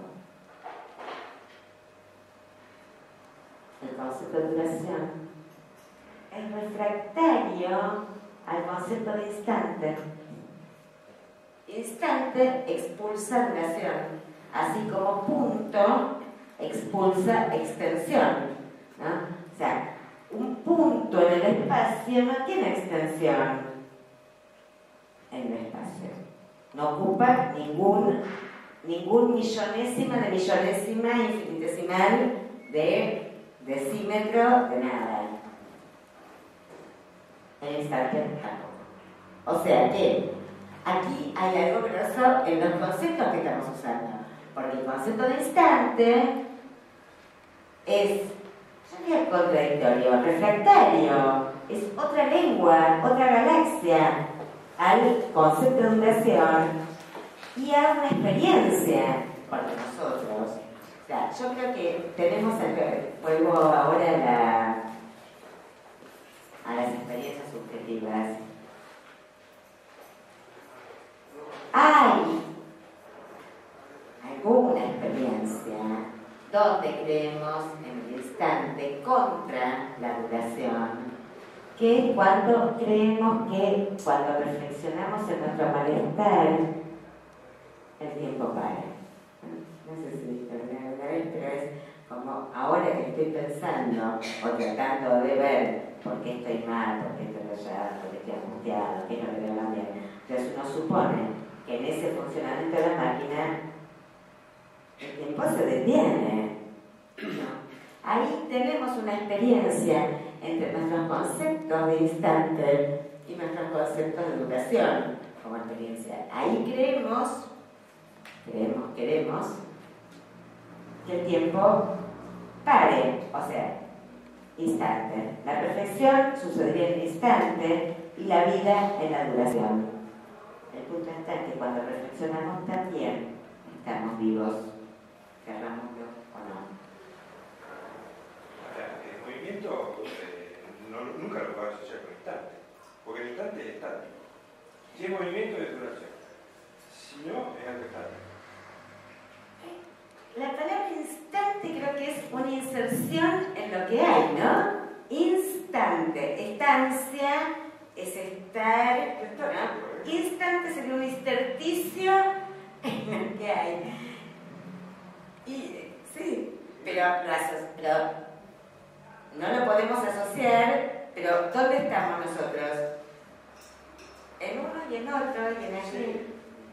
Pero, necesariamente hay una lógica, hay una, una, una, o sea, hay una relación excluyente desde el punto de vista lógico.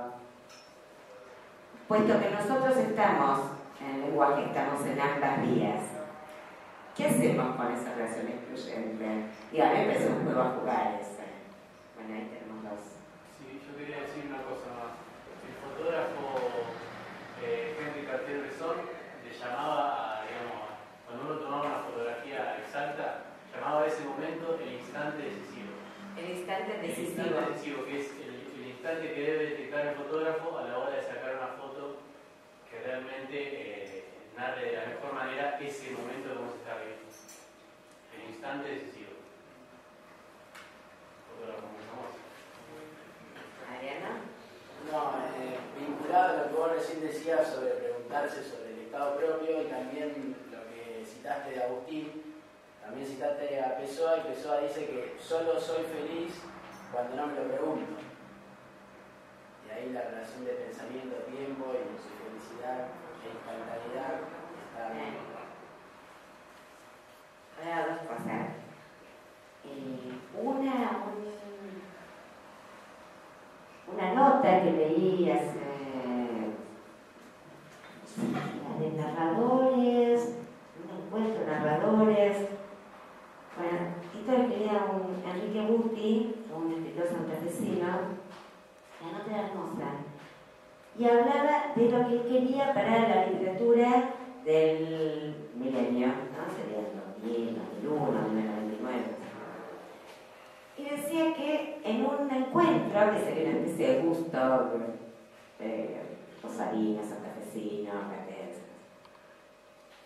Fue siguiendo la estela de un fotógrafo que él quería ver qué fotos tomaba, porque no podía entender qué es lo que perseguía con el ojo de la cámara.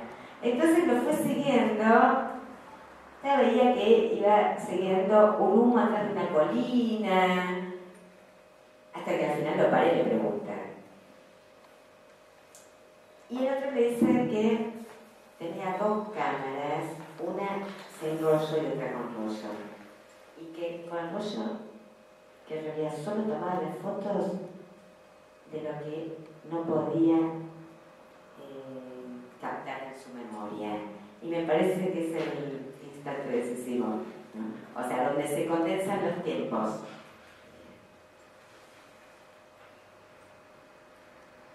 Y, y de nuevo decías algo de lo- del, del tiempo, de lo que no se puede agarrar como...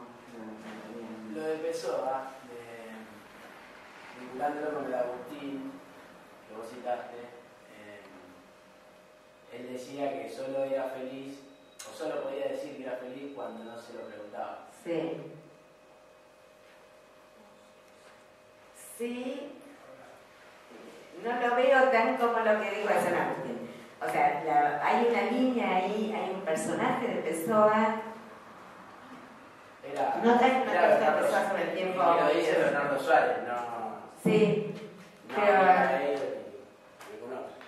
Y lo que pasa es que cuando ser feliz, ahí está el tema, ¿no?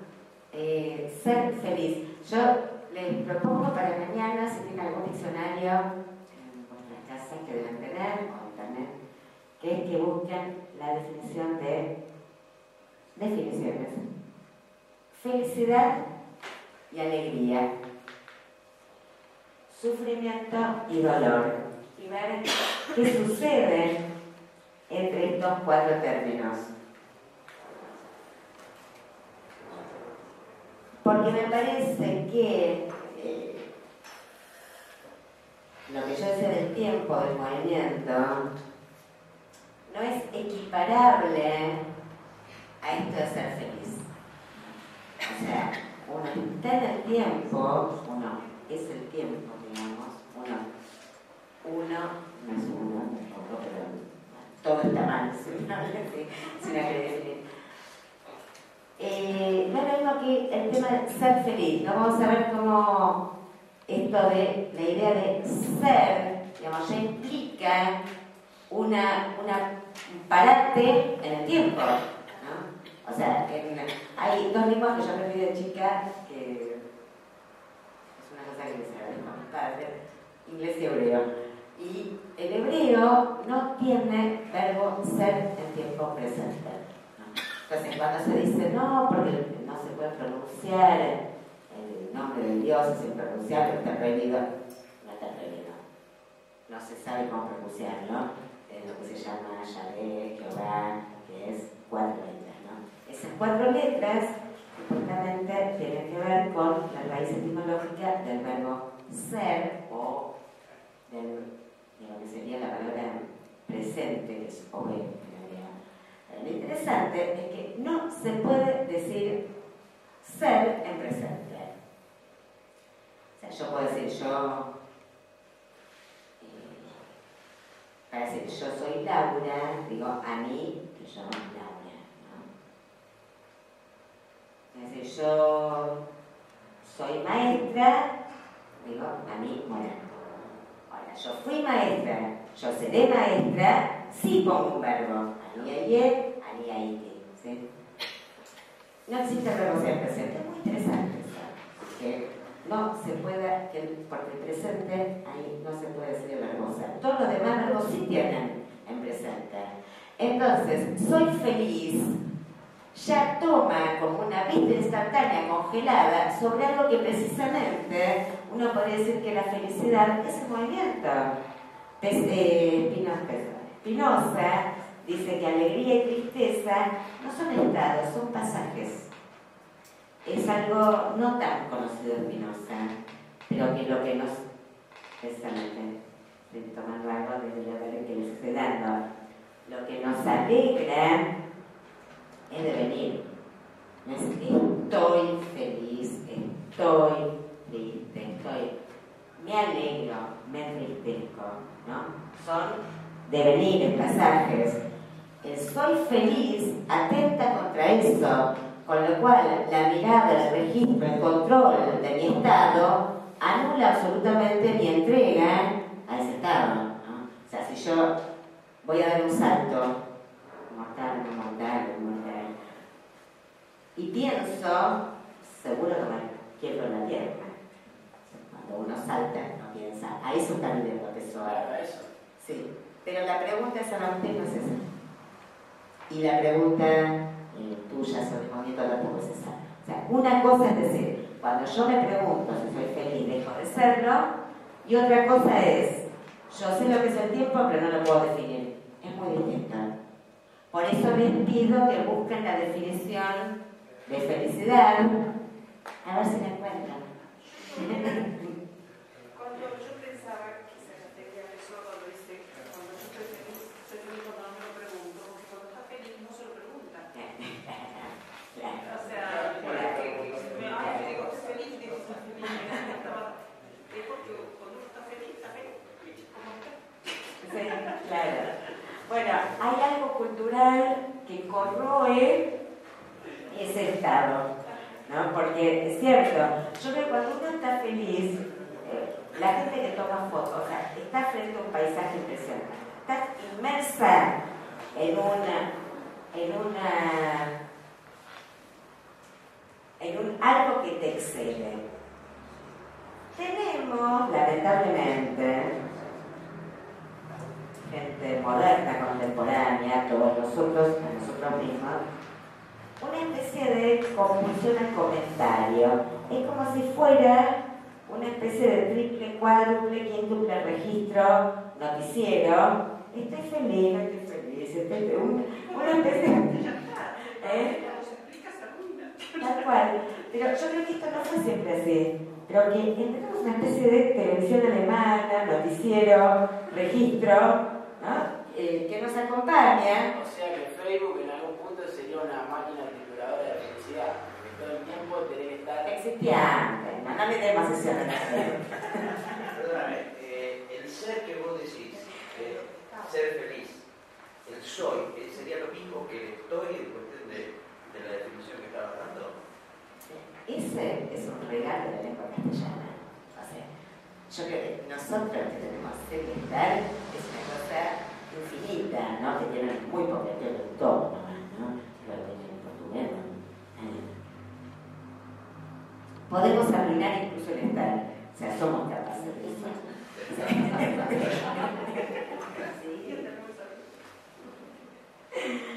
Entonces, tenemos esta situación, ¿no? De estar, sé por qué uno está en un lugar y dice, qué maravilla, ya destruyó la montaña, y hay una historia budista que el discípulo está con el maestro en la revelación, le metió una revelación, dice, o sea que la montaña, el lago, usted, yo, somos Buda. Sí, dice, lástima que lo hayan dicho. O sea, ahí hay una compulsión al informativo. O sea, yo creo que realmente hay algo que... sobreactuación de la emoción, digamos. Ojalá una sobreactuación de la emoción. Yo creo que eso es más respetable. Yo creo que es una máquina que funciona sola de llenar con palabras eh, el vacío que nos produce la montaña, el lago, usted y yo. Y hay un informativo del propio estado de ánimo donde entra estoy feliz. Cuando estoy feliz, ya ya, si me lo pregunto, ya no estoy. No es lo mismo que el tiempo, porque el tiempo me lo preguntó a alguien, el movimiento me lo preguntó a alguien, no es lo mismo. Acá es, cuando me pregunto quién soy, soy feliz, ya, soy, o sea, arruiné el... Tal cual. O sea, condición humana, pero ahora, con lo que plantea Benjamin de la atrofia de la narración frente a la hipertrofia de la comunicación y de la información, eh, esto realmente tiene una eh, vigencia. La ruina permanente de la montaña, del lago, de los momentos de felicidad, tremendo. O sea, porque es como que funciona solo, un nivel de lenguaje que funciona como control respecto del bienestar o del malestar y una especie de control de registro. Eh, hay, algo, hay algo del capitalismo, la mercancía. La mercancía se expandió, no, pensemos que la mercancía eran objetos en venta. No, no es eso. O sea, la mercancía es todo. Si pensamos que la maternidad es una mercancía, el semen es mercancía, bueno, ya la publicidad no vende los objetos de publicidad, se vende a sí misma. O sea, ya no importa que uno sepa qué es lo que nos están vendiendo, sino el consumo mismo. entonces ahí hay una especie de eh, hipertrofia, engrosamiento tremendo de, digo, del registro. El registro, pensemos en la caja registradora, ¿no? ¿Qué caja? Registro esto, entendí esto, lo llevo para mi colegio ¿Entendí este concepto? Hay un nivel de registro que impide, inhibe y entorpece la memoria involuntaria y la, la, permanencia de un estado, de flujo, eh, sin estar tomándole una foto o una pregunta de cómo estás, estás bien, estás mal, ¿no? Eh, de, este registro. Este registro arruina el, el devenir. La verdad es que sí, porque lo propone como estados. Digo, lo de Pessoa es una, una, eh, nota muy sensible de lo que había y sobre todo de lo que iba a venir cuando me pregunto si soy feliz, dejo de serlo. Sí, muy libre de desasosiego. Muy, muy libre de desasosiego, digo. Sí, pero yo creo que el desasosiego es una. Eh, sí. Si pudiéramos llevar al desasosiego, preferir se convierte en un estrés horrible. el desasosiego sería una calma frente al estrujamiento del desasosiego, que es lo que en general sucede. Pero bueno, lo que quiero subrayar que no es lo mismo que la pregunta sobre el tiempo, sobre el movimiento. ¿no? O sea, ¿soy feliz? Soy feliz. Otra cosa es qué es el movimiento, qué es el tiempo, que no es una pregunta sobre el ser. No sé cómo estamos. Ya estamos. ¿Ya estamos? Bueno, nos queda entonces esta pregunta. Eh, bueno, nos queda la cuarta paradoja y todo lo demás.